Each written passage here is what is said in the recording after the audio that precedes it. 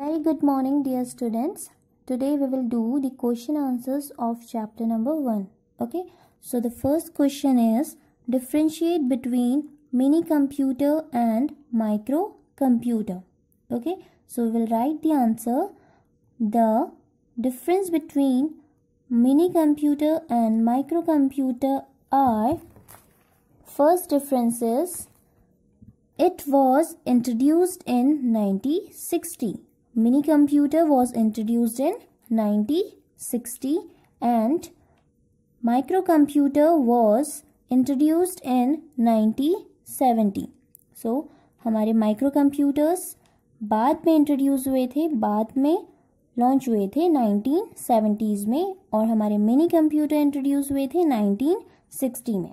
Okay now the second difference is it generally consist of two और more processors whereas microcomputer generally consist of one processor so हमारे mini computers में दो या फिर दो से ज़्यादा प्रोसेसर्स प्रेजेंट होते हैं वेयर एज माइक्रो कंप्यूटर में हमारे सिर्फ़ सिंगल प्रोसेसर ही कंसिस्ट करते हैं। ठीक है? हमारे माइक्रो कंप्यूटर्स सिंगल प्रोसेसर ही कंसिस्ट करते हैं।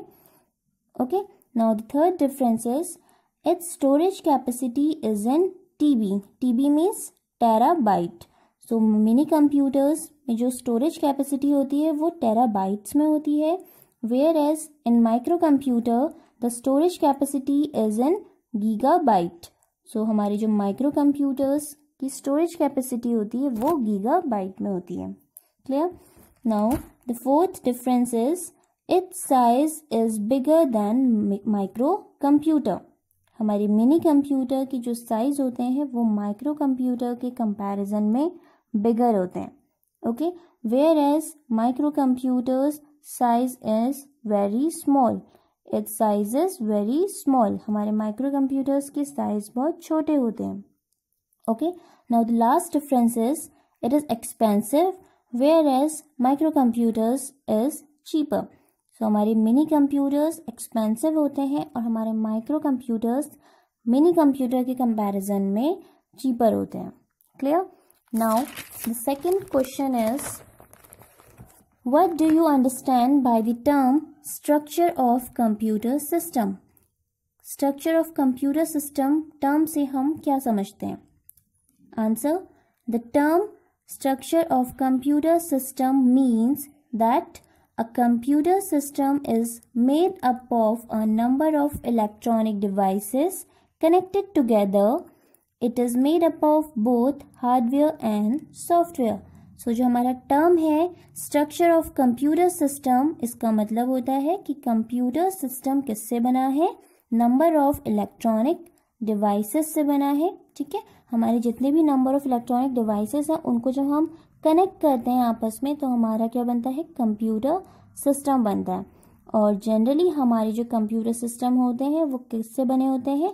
Both hardware and software okay now the third question is what is application software application software is a program और group of programs designed for end users so application software क्या है? एक programme है या फिर group of programmes है जो design किया गया है एंड यूज़र्स के लिए मीन्स हम जैसे यूज़र्स जो यूज़ करते हैं, हमारे कंप्यूटर्स, एप्लीकेशन, उन लोगों के लिए क्या बनाया गया है?